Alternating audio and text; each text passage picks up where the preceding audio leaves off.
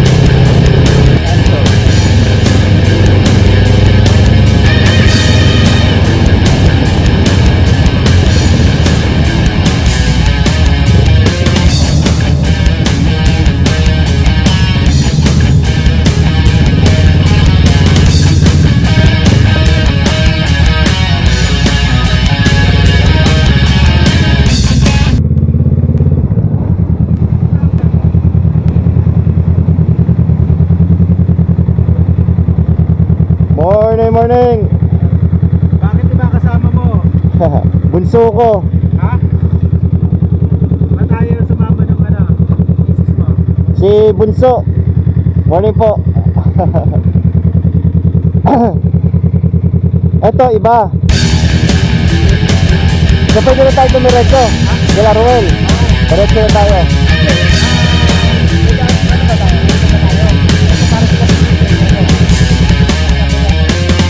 Okay. Pero ano bang balak? Dadato ba tayo kila Ruel? Hindi na. Yun nga eh. Nang nag-aalangan nga ako kagabi na sumagot. Pero kung ano, titimbrihan na natin si Ruel, kita na lang tayo sa kayanan. Hey Google. Uh, hey Siri. Hey Siri.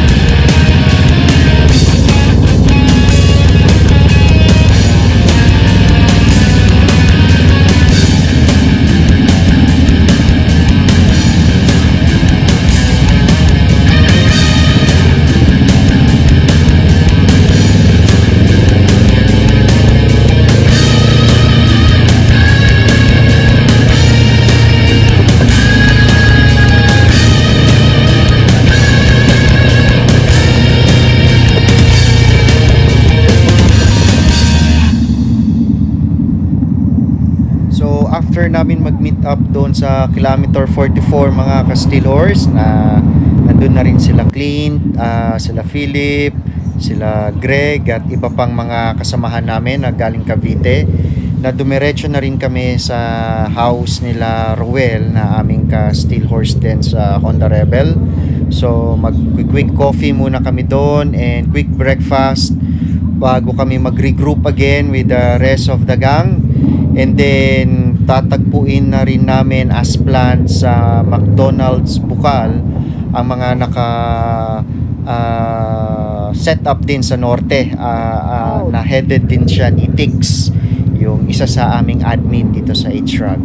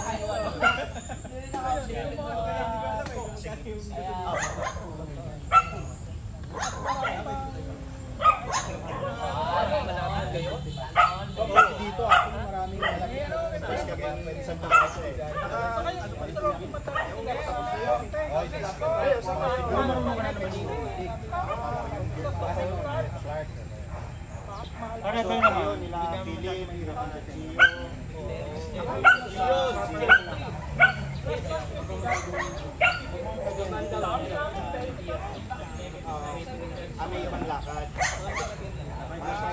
Si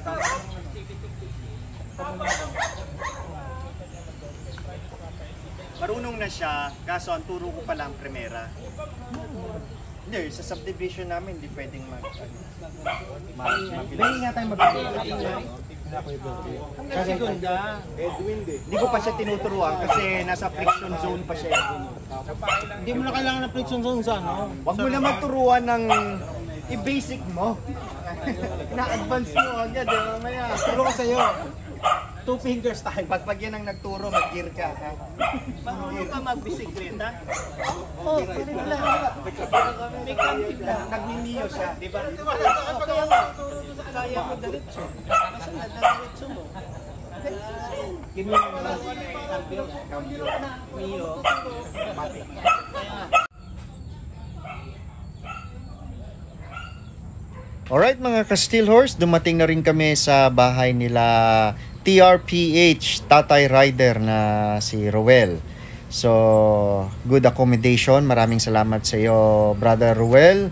At pinaunlakan mo kami rito before we headed to Cavite. So, it was a enjoyable uh, short acquaintance sa other ka-HRAG natin. At ito po, naka-line up ang aming mga motor dito and it was a great breakfast and coffee sa bahay nila Ruel.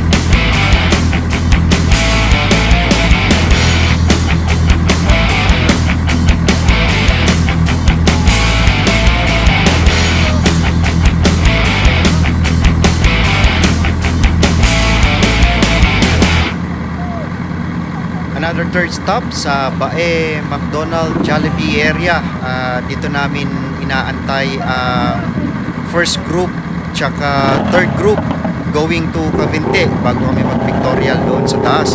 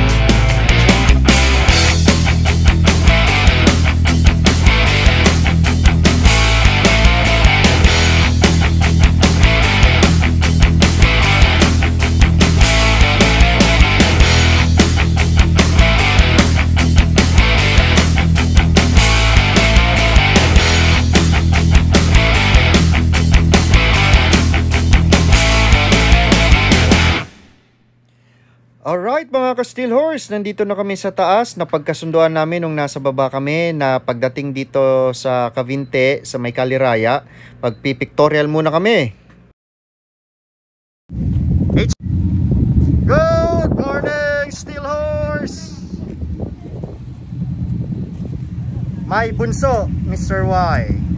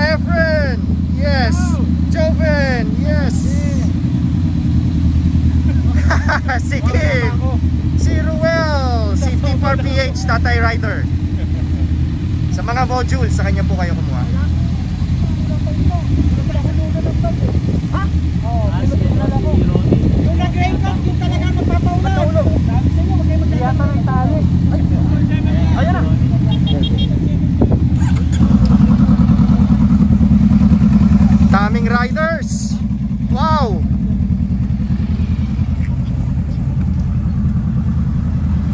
Sa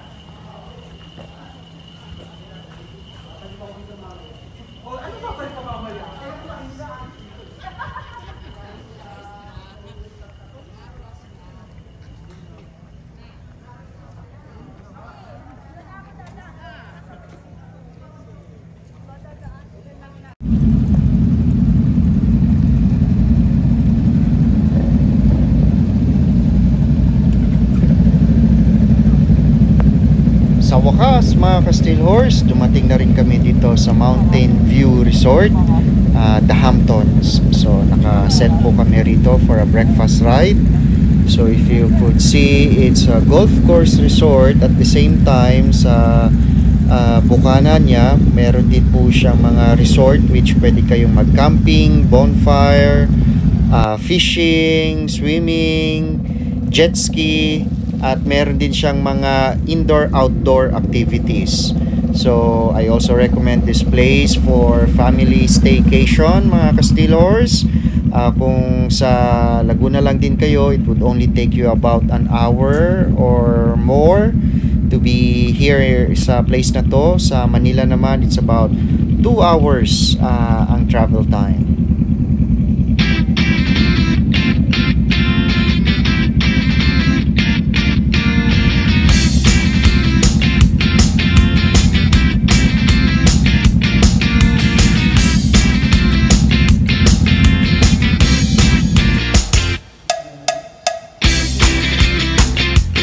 Let me tour you mga Castil Horse kung anong meron dito sa loob.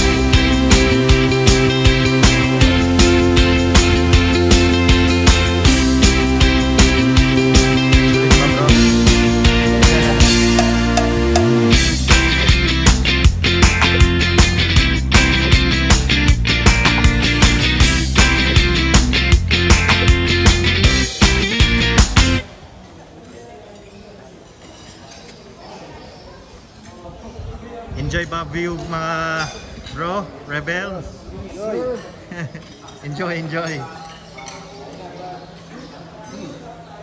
Ayos. Ayos. Hindi na naman tayo napahiya. ah, oo. Dapat. Breakfast time. H-Rog. Sulit ang lugar. Maganda, maganda. Kala ko dyan ay pabalik naman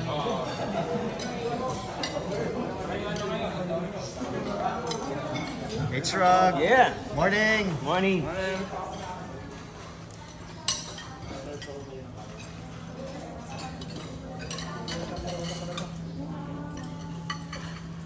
Ayun, Okay, sunod ako.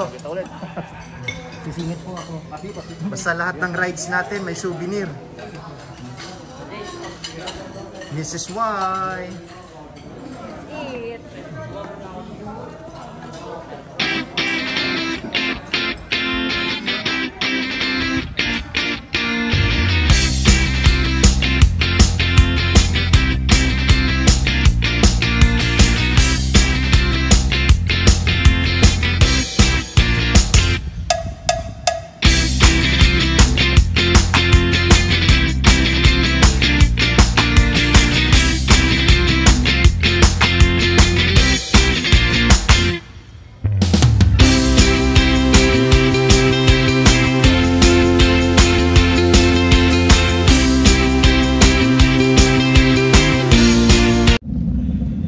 thank you for watching mga ka Steel Horse, ka H-Rog ah, dito sa aming bike tour sa The Hamptons. Kahit inulan kami, masaya pa rin. Please like and subscribe my channel mga ka Steel Horse. Kita kits ulit sa next ride.